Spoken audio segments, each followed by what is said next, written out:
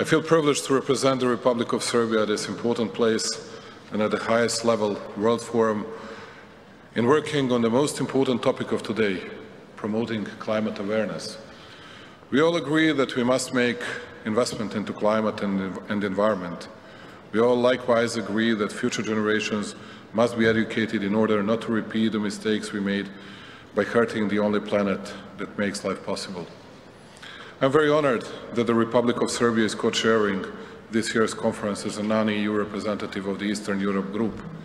In concrete terms, we see special contribution of our expert team in finalizing negotiations on implementation of Article 6 of the Paris Agreement, which refers to establishment of global market and non-market me mechanisms for reducing greenhouse gas emissions as well as to remaining provisions referring to advanced transparency framework and common timeframes for nationally determined contributions which are the key provisions of the agreement that have not yet been covered by the decision that is to be adopted by the conference, i.e. all member states.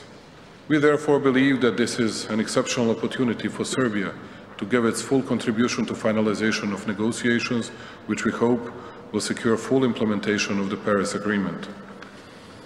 As a result of strong economic development modeled for Serbia by 2050, the impact of implementation of climate measures to employment will be optimal through new jobs creation and creation of new industries which have not existed so far. One billion euro was raised at the first green bonds auction in Serbia, which clearly confirms trust of international investors to our green agenda, but also to economic and political stability of our country. Incomes from green bonds issuance will be used for financing renewables, energy efficiency, sustainable water management, prevention of pollution, and circular economy development and biodiversity preservation. And as you can see, dear friends, my people made a terrific speech for me, but I'm going to add few more words and few more questions for those that are coming from big powers and uh, that haven't answered yet on several questions. Number one is how we're going to finance all these activities. We heard a story of trillion of dollars that are at our disposal. My question would be, what would be the interest rate, what would be the terms for taking these amounts of money, and uh, actually how we're going to tackle that issue.